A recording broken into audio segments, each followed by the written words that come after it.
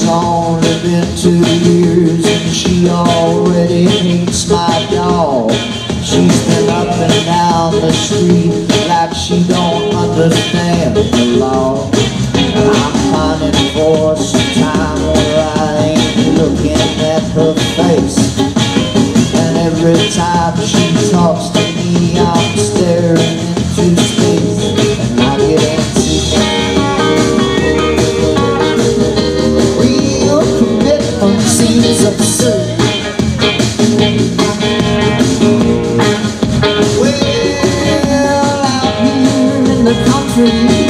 Forever is a fall.